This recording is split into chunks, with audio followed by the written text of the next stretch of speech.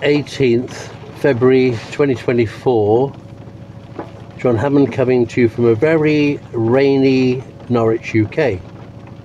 Sunday morning, and um, the Lord's called me to go to the usual place of uh, obedience. Um, yes, it's a, a church building of a certain type of denomination, but yesterday we had a brilliant men's breakfast meeting. Nothing elaborate, just coffee and snacks, a video, a talk, and discussion around tables. Getting to the nitty gritty of what worship is. And we looked at Martha, Mary, and Lazarus. The second occasion after Lazarus was resurrected from the dead a few days before Jesus was to be crucified. And we looked at that. Three different types of worship, three different types of people.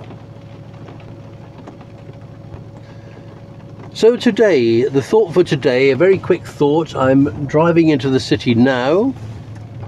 So I'm fully concentrating on the journey. Procrastination. I was saying to my wife just now, procrastination. Even when I was in business and not a Christian, not a disciple, not born again, uh, a believer in God's existence, but not a follower of Jesus. When I was in business, we had the term procrastination is the thief of time. And of course, it's true. It's what it's called a worldly truism. A truism is a, a truth. And procrastination, as a thief of time, procrastination means you put off doing something. And then the time goes. And you may not feel feel emotionally, you may not feel like doing it. So procrastination. The world calls it procrastination the thief of time. But of course, we know who the thief is. We know the thief, the robber, he comes to steal, rob, thieve. That is the spirit of the enemy. And we know what Jesus said about the God of this age. The God of this fallen age is the devil himself, the ruler, the one who's taken power over people's lives in every form of religion that you can think of, every form of business that you can think of, every type of way of life. Above it all is the God of this age, the devil, Lucifer, Satan, the devil, the God of this age. And, and one of the uh, definitions of the devil is that he's a thief. He comes to kill, steal, and destroy. And, and that is the nature of the devil a killer, a thief, a destroyer. Now, if you were like me before you were born again, you were in business. The, the world of business is all about the competition in the sense of putting them out of business. It's all about fighting, fighting people to win their clients to yourself. Now, if you bring that spirit of competition into Christianity, although most church leaders would deny it, there is this sense that their church is better than anybody else's church. And the proactive ones who are switched on to the marketing methods, they will reach out to uh, bring more staff on board to their vision of their local church. And this is this is the subtle deception that has happened over Christianity progressively for the last 30 years. Where business methods, marketing, management, all the things that enable the world's organizations to be successful, the church has taken them on board even appointing official sales, marketing, and PR consultants, maybe not even Christians who are in consultancy, but just using the methods of this world to enable church leaders to have an effective organization in terms of communication. Internal communication, just like the world has internal communication. So, what I'm saying is, by now, if you haven't understood, there is very, very little difference between worldly companies and religious companies, worldly charities and religious charities. And I'm using the word religious as opposed to Christian charities.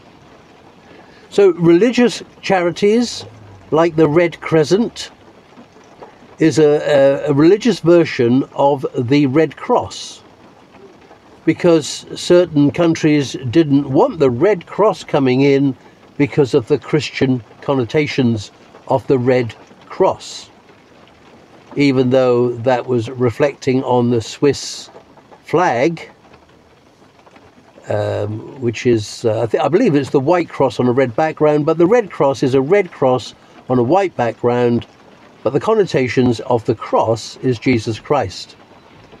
And the stigma there is the Crusades, where they went into the Middle East to kill the infidels. But coming back to the point of charities, so Christian charity, Christian love, faith, hope, and charity. The greatest is charity, love, and God is love. So certain Christians, believing it's right, start a charity in the name of Jesus, and then they do the good works in the name of Jesus, and very soon they realize you cannot scale up the Christian charity that you have in your heart to do good, to bring Christ's love to people. You start to understand you need to scale it up because money you have a bank account, and with a bank account, you need a treasurer. So you're trying to be like Christ and be good to people and help them, and money can come to you. And your heart might be right not to look for the money, but the money comes to you. But you don't want to look after the money. You just want to help people, you want to love them, you want to care for them, you want to pray for them. But what are you going to do with the money? So you either look for a treasurer or someone makes themselves known to look after the money for you. And that is classically how churches are, are started. One man, two men, three men, women, couple of couples get together and they think and or feel, let's start a church for God. Let's start a new church and we'll call it such and such. We'll have a bank account We'll have joint signatories. It'll all be above board. And oh, yes, we need a legal uh, charter, charity uh, registration with a charity commission. We need to follow the rules and regulations. And we get tax relief. And suddenly, it becomes a business, registered business with a remit. But I know what I'm talking about is not, I'm not trying to over spiritualize the life of Christ. Jesus' life was very spiritual. He was fully in the Holy Spirit. Jesus, fully human, fully God, his life is the example for us to live by. Not just because uh, we're born again uh, disciples who become apostles and prophets and pastors and teachers and evangelists because we're something in the kingdom of heaven. When you understand that the kingdom of heaven is not of this world, you start to realize what Jesus said was absolutely true. Of course, Jesus only spoke the truth in love. You must hate your life in this world. How else can you inherit the kingdom of heaven? How else can you inherit eternal life? If you love the things of this world, if you love your life in this world, if you love your job, your position, that you're CEO or managing director or chief priest or archbishop or a canon. Or you're a canon and the canons in the city uh, acknowledge you as, as, as being of high caliber like they are and they make you a canon. But you're part of the Free Church. And what has the Anglican system got to do with you? Well, you know, going to the very top of the top denomination, the original founding denomination of the, the so called church model for doing church, the Catholics, the Pope, the top Pope over all the bishops and archbishops, that he has sort of invented himself as the supreme vicar of Christ over all, shaking hands with every archbishop of every denomination, shaking hands with every head of state, government, officials, and of course other religions. This move towards multi faithism is such an evil. Apart from the fact it's an ism, multi faithism that uh, smacks of the Freemasons, where they compile all the so called gods into a compilation god, giving that compilation god a name, a secret name only known to the Freemasons. Well, it's all out there on the internet now. So, this idea of uniting with other faiths, different religions, believing there is only one God and that God is over all the faiths. Well, that's not true. It's a lie. And when you understand that the Jehovah Witnesses are, are living under a lie, a deception for generations, 100 years or more, and the Mormons equally living under a lie of a false Christ, a vision from a false angel, to a false shepherd, Joseph Smith. When you understand that these are generations of people who've been living under a lie, under a deception, under blindness, spiritual blindness, and auditory blindness. They can't hear what the Holy Spirit is saying. They can't see what God is doing. They can't see what Jesus said is true. They don't understand. So this morning, I have to put off that spirit of procrastination. I have to put off the thing of putting off. Put this off, put this off, delay, delay, delay. And that demon I'll call it out as a demon, an entity, a spirit is an entity, a person, because Lucifer is a person, every fallen angel is a person, every demon is a person. And you can treat these uh, demonic thoughts that come to you as a person to cast out of your mind, your heart, your emotional heart, your feelings. You can cast these things out as you would cast a physical person out of your house if they came to steal, kill, and destroy. I'm talking spiritually, I'm talking figuratively, but there is a point where we understand the physical realm points to the spiritual realm.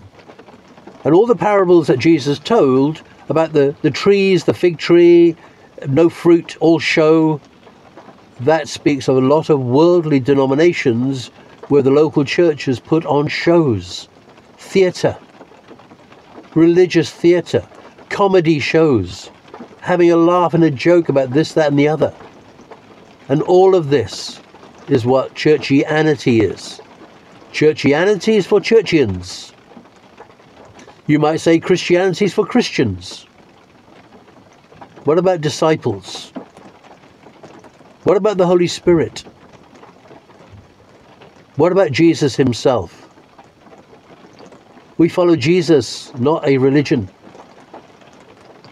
We, we absolutely do believe in the Bible, the Holy Spirit breathed Bible, the inerrant, infallible word of Scripture. But Jesus is the living word. And only when you give your life to Jesus, only when you're born again, do you understand from the Holy Spirit point of view what it's all about. And of course, every new baby craves spiritual milk. And this is why going to church is a better thing than not going to church. Because the Sunday school in proper evangelical Christian churches, not Jehovah's Witnesses, not the Mormons, obviously, not the cults, but ordinary Christians talking about the simple stories of Jesus, and the, and the stories speak for themselves, and the Bible speaks for, the, for itself. And the Holy Spirit comes upon the children to show them the truth of these wonderful stories. Children's Bibles, full of pictures, illustrating the life of Christ. The seeds of truth being sown into the minds and hearts of the children. Spiritual truths for the children in proper evangelical Christian Sunday schools. Of course, the parents, Christian parents, you're meant to read these stories to the children every bedtime. You're meant to feed your children spiritually as well as physically, clothe them spiritually as well as physically. The spiritual armor of God. It's not it's never too early to tell your children about the spiritual armor of God to protect them, their minds, from teachers who don't believe in Jesus Christ, not the Jesus we know. They don't believe in the Lamb of God who shed his blood. They won't even mention that in context in a school setting.